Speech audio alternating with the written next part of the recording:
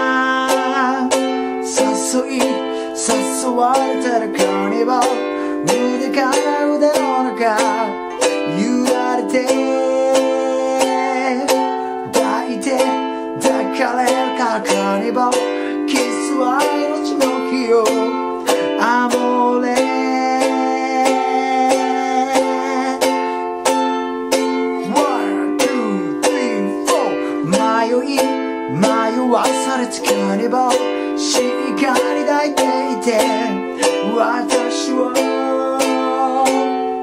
誘い誘われたらカニバル。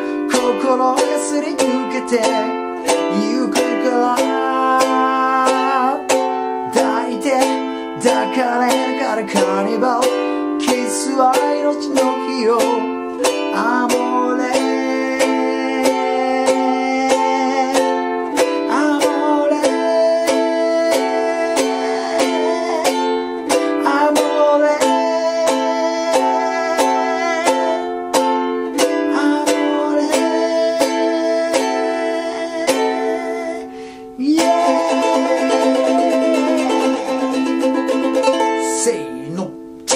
中森明菜さんのミアモーレガズレレ流シンプル簡単バージョンゆっくりやっていきましたと。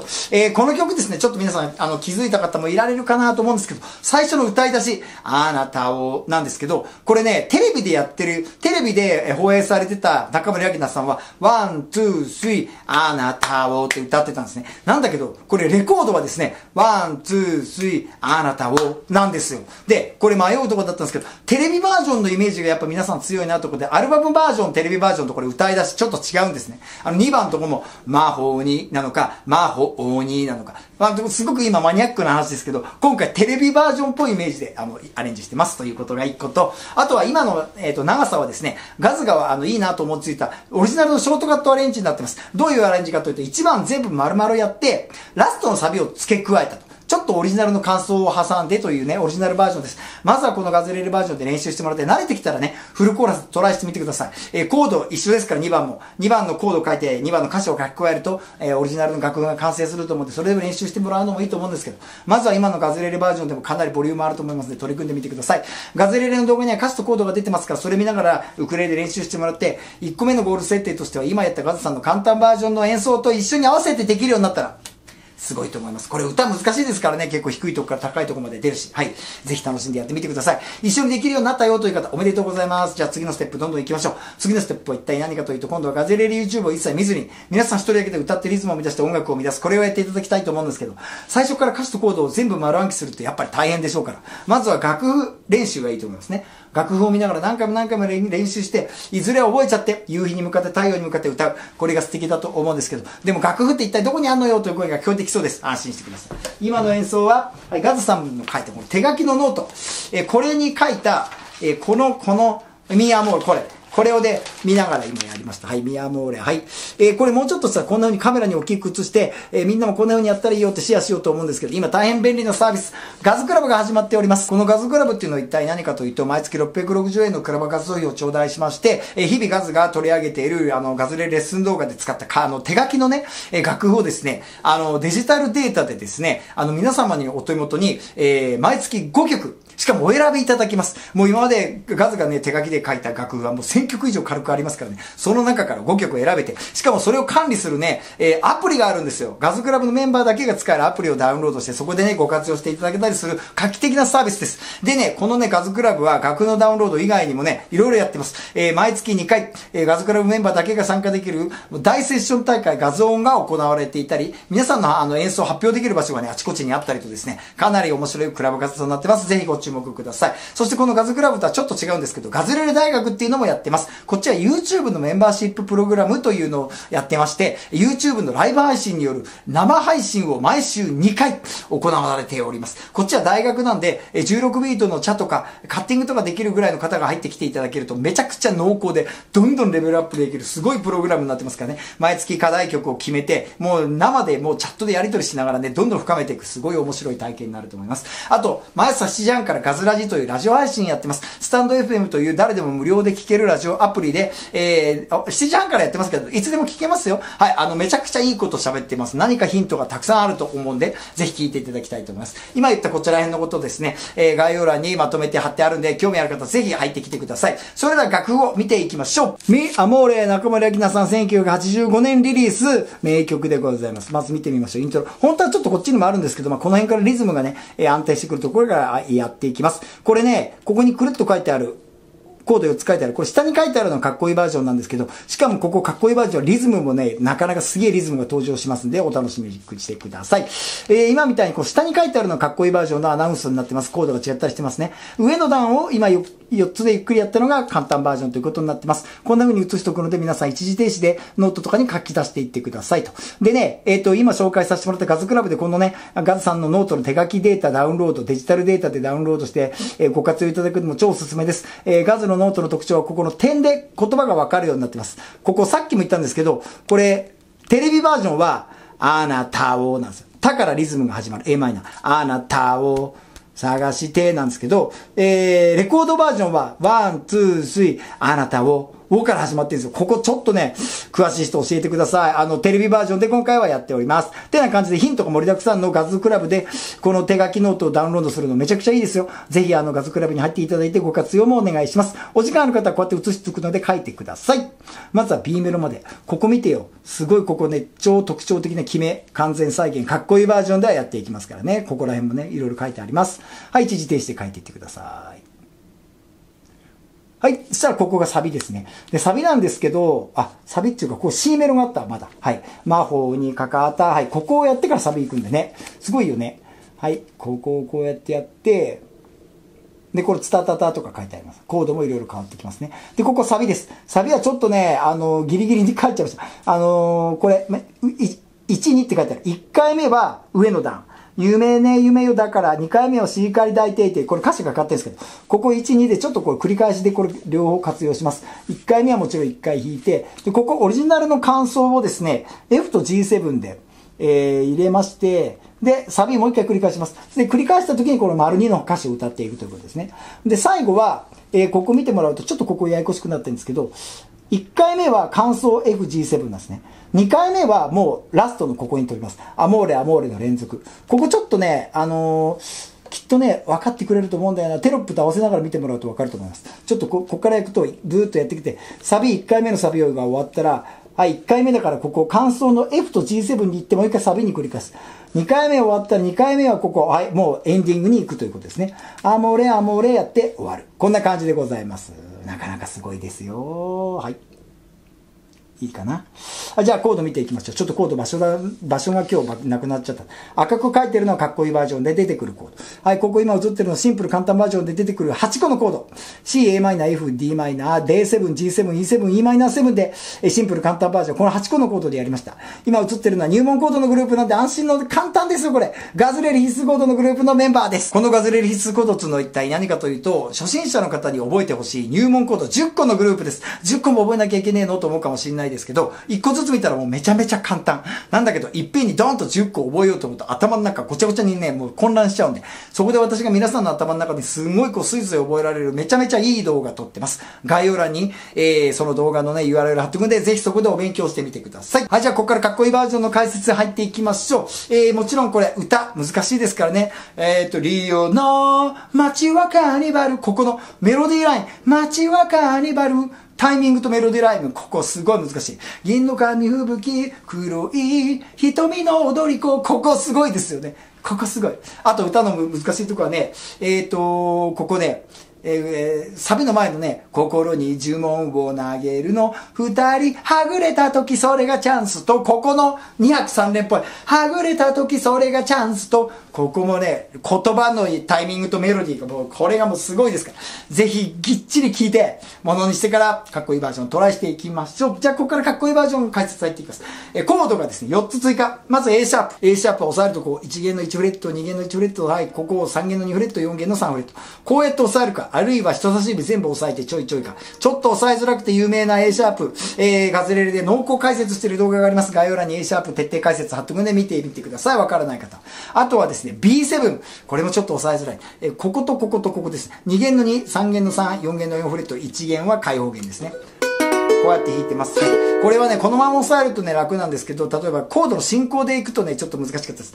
G7 から B7 なんで今日は G7 からこんな感じ、一回指が離れるんですけど、G7 この人差し指1個ずらしてトントンって考えるといいかもしれません。あともう1個 B7 は2フレット全部押さえて3弦の3フレットっていうのもでもいいですよ。どっちでもやりやすい方で OK です。あと次は F メジャー7ですね。F メジャー7は3弦と4弦の5フレット、こんな指使いがおすすめです。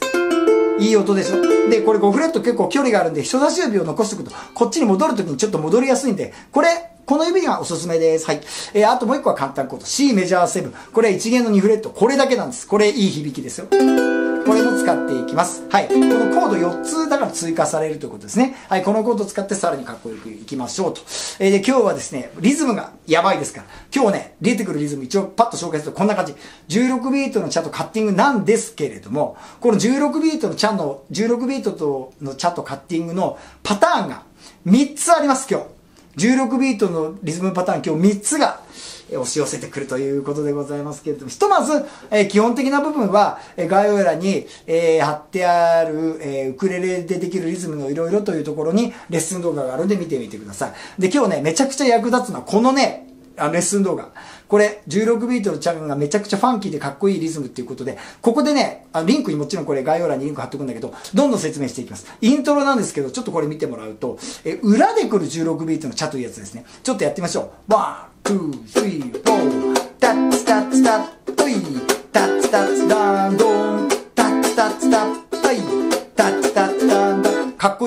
最初にちょっと裏空白があるんですよ。 one、two、three、フォー、タッツタッツタッ、タッツタッタンバ、カッティングの応酬です。ツッタッツタッツタッ、ツチカタカ、こんな感じで入ってます。ツッタッツタッツタッ、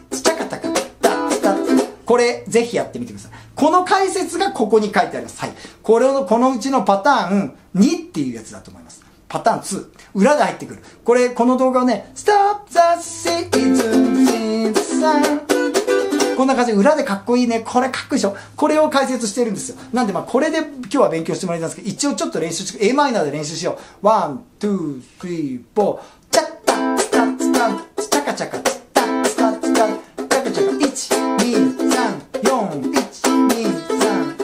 タカチャ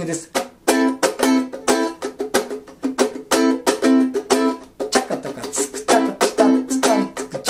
ツクタイントロでこのリズム登場しますよと。はい。えー、そしてですね、えー、歌の中でも、えー、またちょっとこれの変則的なやつがあるんですよ。いきますよ。あなたを探したんだんだんだん。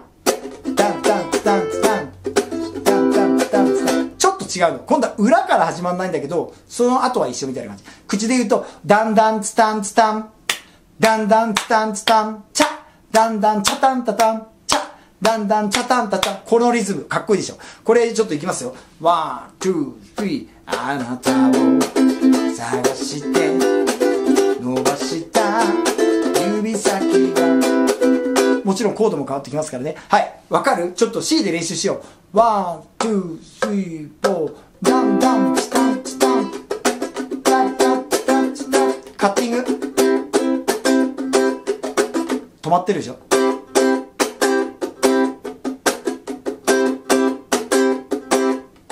こういう感じですよ。で、コードが変わるところ、じゃあ a マイナーで、次 G7、F メジャー7、C メジャー7。こんな感じなんですよ。やばくないですか、これ。で、おまけに、ちょっと今のその続きやると、えーのさ、踊りの渦に巻かれてく人混み。今の。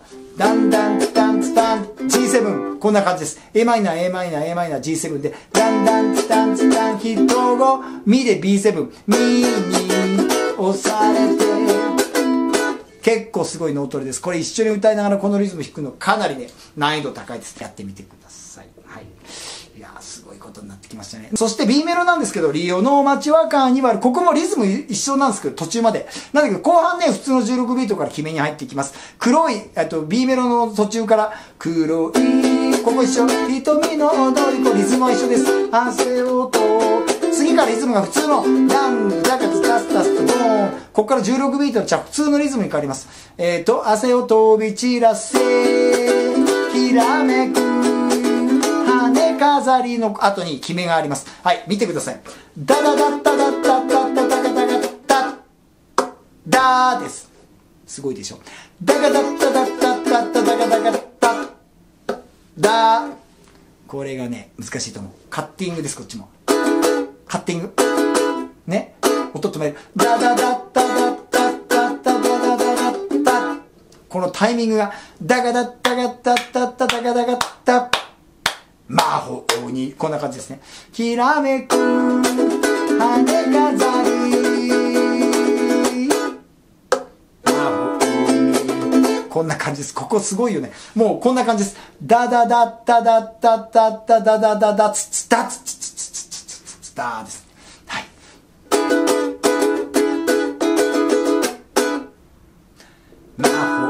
はい。これは手の動きずっと一定ですから見てください。せーの。ダダダッこれはちょっとこの表を見て、あの、得得してください。はい。で、こっからまた、えー、魔法に、またこれこの C パートっていうことですけどね。はい。ここも A メロの1番と同じような、あの、感じでいきます。で、ツタタタタ、ツタタタっていうのがあるんですけど、ツタタタタタタタ。はい。これはわかるよね。よく出てくるやつ。最初にチャを弾いといて、ツタタタタタタタつって、迷い、迷わされてカーニバル。ここは16ビートの、えー、チャの普通のやつっていうか。まあでも、普通の16ビートのチャって言っても結構ファンキーで跳ねてるやつですよ。迷い、迷わされてカニバカッティングを入れて、ねだから、今夜、こうシンコペーション、スタンダンダだから、ドンツッパッタッタッタッタッドン。カッティングを入れたらなおさらファンキーでかっこいいと思います。いやー、そういうわけでこれ今日3つのね、主に16ビート。まずはイントロで出てきた、ツタンツタンツタン。はい、これが1個目でしょ。で、2個目の16ビートは、あなたを探し、ダンダンツタンツタン。ダンダンツタンツタン。ほんで、えー、もう1個は普通の16ビートで、誘い、誘われカニバル。ね、こんな感じですね。この3つ、3段活用16ビートのじゃこれはなかなかすげえ深い。おまけにあの決めですよ。ダダダやー、悶絶。でも奥が深くて楽しいです。あとそれに、えっ、と、サビの後半のところでシンコペーションが出てきて、最後繰り返しの最後のエンディングのところでも、アモレーというところでも、あの、シンコペーション出てくるよということなんです。とにかくリズムがすごく大盛りなんで、ガンズさんもね、これはなかなかね、手強いというか、夢中になっちゃうやつのタイプでしたね。大きい感じで取り組まないと、リズムがガチャガチャになっちゃいます。基本的な話に戻りますけど、16ビートなんで手首柔らかく、あなたを探してのノリ見て出した指先がこの大きいのに、うん、うん、うん、これ、ガチャガチャガチャガチャなんないで、ね、あの、手首を使って弾かないと、肘で弾いちゃうと、なんかガチャガチャになっちゃって、もう弾けないと思います力がもうかかっちゃって。柔らかく、このノリが出せるといいんですけど、これはまあ、ガズレレでも最高クラス、最高レベルのあの難易度だと思うんですけど、まずは目標を定めてですね、このまず16ビートのところからちょっと徐々に掴んでいく、えー、のが、もうそれしか方法ないですからですね、はい、まあ、あの、ガズの演奏を見て何かこう気づきを得ていただけたらいいと思うんですけど、雰囲気は結構ね、ちょっとこのね、原曲のムードは出てると思いますね。さあ、もう熱量高めに、もうアモーレでいきましょう。さあ、やっていきます。中森明菜さんのミアモーレガズレレ流かっこいいバージョン、やってみる !1 two,